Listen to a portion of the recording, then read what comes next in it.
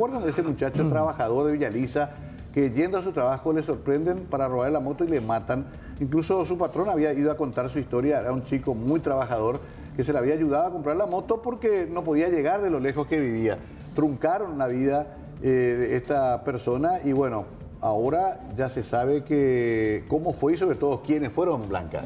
Efectivamente, ya el miércoles, entre, el, perdón, la, la madrugada del jueves, se hicieron procedimientos en busca de las personas. Fue detenido un joven y eh, otro menor de edad. Se hicieron dos procedimientos en horas de la madrugada. Uno en la zona, creo que del barrio Ricardo Brugada, no se lo encontró. Finalmente se le encontró a esta persona en las inmediaciones ya de, del, botánico. Fue detenido, un menor de edad también.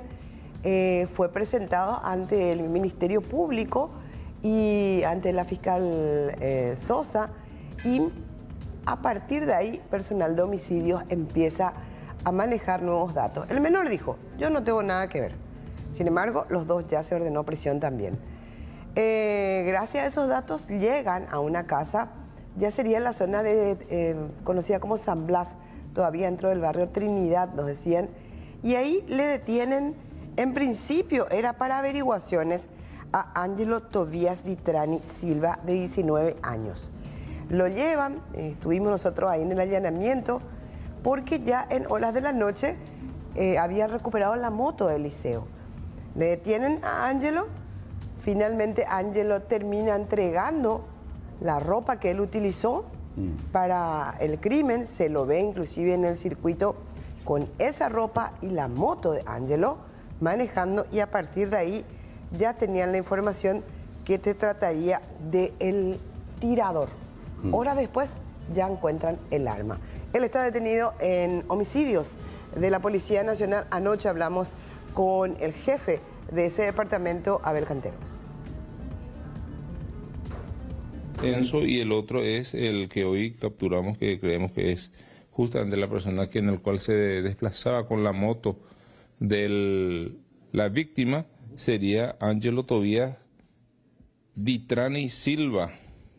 Entonces con esto creemos que eh, tendríamos la, a ambos sospechosos principales eh, en esta causa. No tenemos una precisa de en cuanto a decir unas grabaciones, pero eh, podemos hacer una deducción en cuanto al modus operandi. creemos que podría ser este Angelo el responsable de haber efectuado los disparos. Pero eso yo creo que con los análisis forenses es probable que tengamos eh, posibilidad de sustentar técnica y científicamente. Pero al menos ambos eh, tuvieron participación. Así mismo solo falta determinar efectivamente quién hizo los disparos. Así mismo es, eh, desde el punto de vista legal, ambos tuvieron, están involucrados en el crimen ocurrido. ¿Caso cerrado? Así, efectivamente, para la Policía Nacional es un caso cerrado. Nos queda acompañar el trabajo, el arduo trabajo del Ministerio Público que sigue. Bueno, ahí está lo que se explicaba con respecto a este caso. También hubo novedades con el caso del guardia de la tienda de objetos electrónicos, el senador Loni Mariscal López. Eh, y bueno, también hay una intensa batida en la zona norte del país por dos casos. El de Puenteciño o es Puenteciño y también, por supuesto, el de Pedro Juan Caballero. ¿Está trabajando la policía? Sí, enseguida vamos a estar